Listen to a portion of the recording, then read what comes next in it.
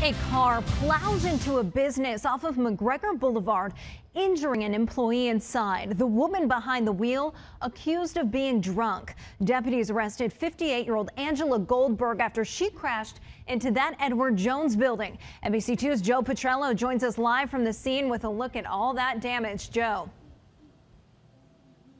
Well, this is what the front of the Edward Jones building looks like right now, and probably what it'll look like for at least the next month or maybe even more. You can see it's been boarded up in the front here after deputies say Angela Goldberg drove her car straight through it. Tonight, the office manager here at Edward Jones, as well as the business owners next door, are just thankful everyone made it out okay.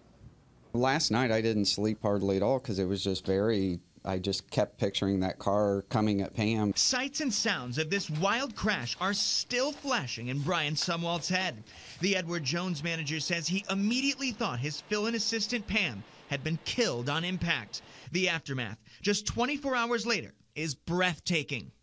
This was one desk previously, and Pam was standing behind that desk, and it split the desk right in half. And pushed half of it through the wall and this half up against that wall. Investigators say 58-year-old Angela Goldberg was behind the wheel.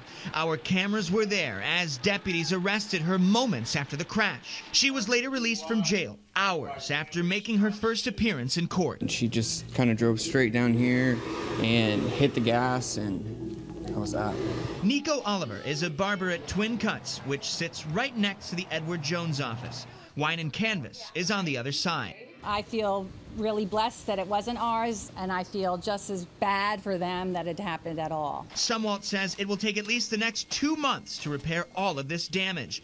For now, his main concern is Pam's recovery. She's beat up, bruised up a little bit. Um, her toes smashed up pretty good, but uh, you know, not like I say, it could be a lot worse. So we're very fortunate. We reached out to Goldberg's husband today. He says at this time the family has no comment. Goldberg is due back in court next month. Reporting live in Lee County, Joe Petrello, NBC2.